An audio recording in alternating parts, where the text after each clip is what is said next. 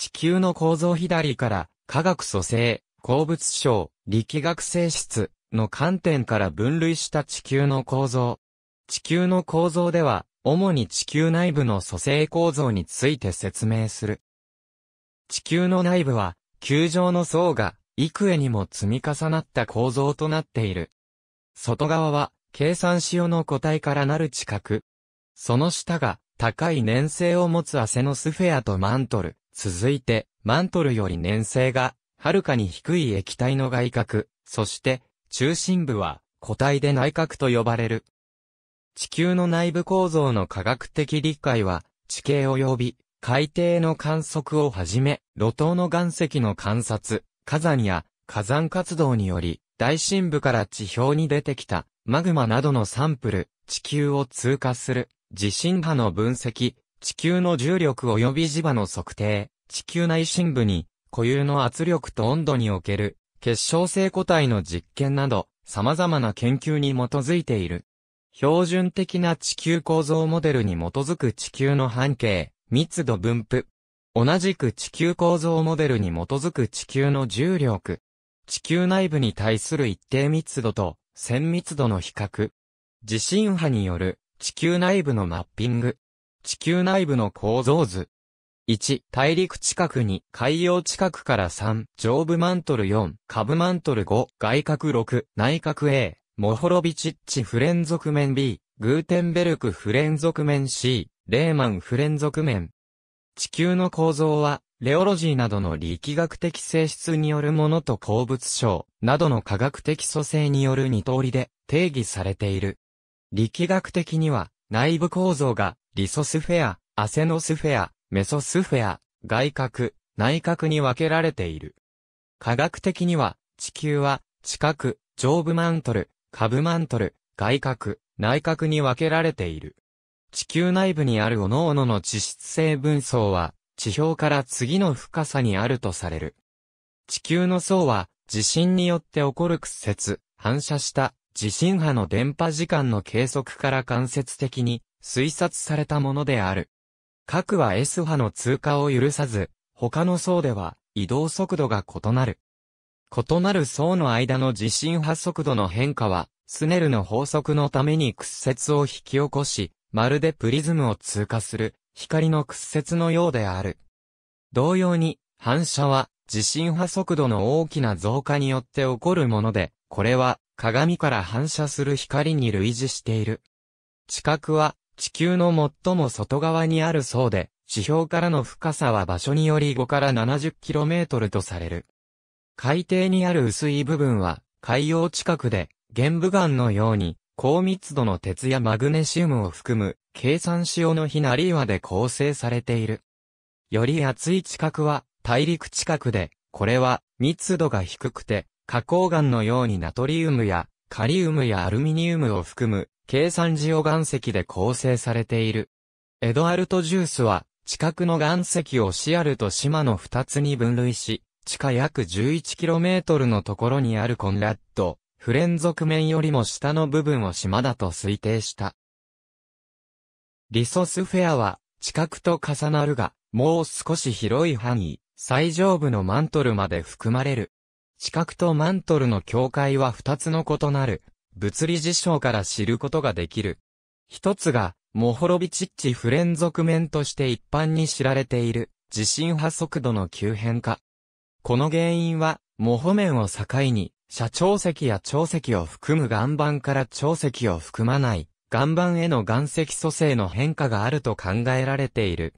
もう一つが、海洋近くにおいて、チョーク鉄質集積岩層と構造変形を受けたハルツバージャイトとの間の科学的な不連続。これは海洋近くが大陸近くの上に乗り上げたものがオフィオライトとして保存されていて海洋近くの深部を地上から観察することができる。現在の地球の地殻を構成している岩石の多くは1億年前までに形成されたものである。しかしながら、最古として知られている鉱物は、約44億年前のもので、少なくとも地球は44億年の間、固体の地殻を持っていたことが示されている。モホロビチッチ不連続面の位置を示す世界地図。地球のマントルは地下70から 2890km の深さまで及んでおり、地球で最も分厚い層となっている。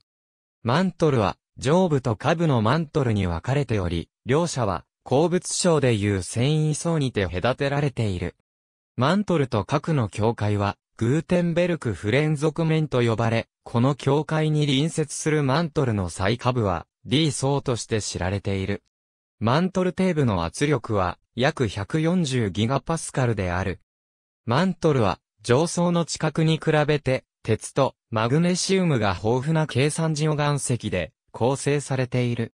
固体ではあるが、マントル内の高温によって計算ジオ物質には十分な塩性があり、非常に長い時間尺度で流動することができる。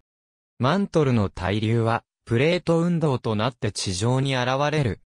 マントルの深部へ向かうにつれて圧力は著しく増大するため、マントルの下部は上部マントルよりも流れがよどんだものとなる。マントルの粘度は、深さに応じて1021から1024パスカル、S の範囲である。プレートテクトニクスを引き起こす熱源は、惑星の形成から残された原初の熱を呼び、地球の地殻やマントルにおけるウラン、トリウム、カリウムなどの放射性各種の放射性崩壊に伴って発生する熱である。地球の中心部となる内角は固体だと考えられており、これは地球の密度を算出することで導かれた。地球の平均密度は5.515グラム毎立方センチメートルであるが、地表面の平均密度が約3.0グラム毎立方センチメートルなので、地球の核にはもっと高密度の物質が存在すると結論付けざるを得ないのである。1770年代に実施されたシェハリオンの実験によって、この結果がもたらされ、以後知られるようになった。チャールズ・ハットンは1778年の報告書で、地球の平均密度が地表面の岩石のものなら、約9、5でなければならず、地球の内部が金属でなければならないと結論付けた。そして彼は、この金属部分が地球の直径の約65%を占めると推定した。ハットンの地球平均密度の推定値は4.5グラム毎立方センチメートルと約20%も低かったものの、ねじり、天秤を用いた1798年のキャベンディッシュの実験では5.45グラム毎立方センチメートルと、現在の値との誤差が1%以内だった。地震波観測にて、核は、半径約 1220km の固体である内角と、その外側に、プラス約 2200km にわたる液体の外角という二つの部分に分けられることが示された。密度は外角で9900から12200 kg 毎立方メートルであり、内角で12600から13000 kg 毎立方メートルである。内角はインゲレーマンによって1936年に発見され、主に鉄と若干のニッケルで構成されていると一般的には考えられている。この層は S 波の電波が可能なため、固体でなければならない。実験での証拠が核の結晶モデルを決定づけるものとなった。他の研究実験では、高圧化での不一致が示されている。ダイヤモンドアンビルセルで核圧力環境にした研究では、レーザー衝撃での研究よりも、約 2000K 低い溶融温度が生み出された。レーザーでの研究ではプラズマが生成され、その結果として内角が固体なのか固体の密度を持つ、プラズマなのかは、内角状態の制約次第であることが示された。ここは、活発に研究されている領域である。約46億年前とされる、地球形成の初期段階では、溶融が引き起こす惑星構造の分化と呼ばれる過程で高密度の物質が中心に向かって沈み込み、密度の低い物質は地殻へと移動させられる。このようにして核は、大部分が鉄で、残りがニッケルと、軽元素を一つ以上含んだもので構成されていると考えられている。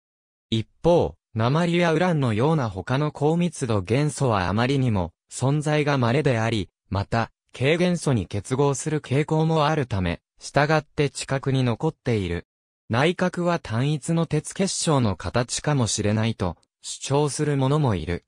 ダイヤモンドアンビルセルの実験条件下で、鉄イコールニッケル合金のサンプルを核のような圧力環境にして約 4000K に加熱した。そのサンプルを X 線で観察したところ、地球の内核は南北に走っている巨大な結晶でできているという理論を強く支持するものだった。液体の外核は内核を取り囲み、鉄に、ニッケルとさらに軽い元素が微量に混ざったもので、構成されている、と考えられている。ダイナモ理論は、コリオリ効果と組み合わされた外核の対流が、地球の磁場を引き起こすことを示唆している。固体の内核は、永久磁場を保持するには、高温すぎるが、おそらく液体の外核によって生成された磁場を安定化させる、よう作用する。地球の外角の平均した磁場強度は地表の磁場よりも50倍強い25ガウスと推定されている。2005年8月、地球物理学者のチームはサイエンス誌で地球の内角が地表面の回転に比べて年に約0.3から0.5度早く回転しているとの推定を発表した。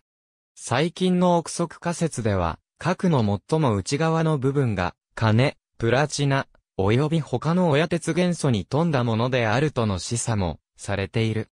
地球は宇宙における天体の一つであるから、地球を構成する物質は、ある種のコンドライト隕石とか太陽の外側の物質とも基本的には関連がある。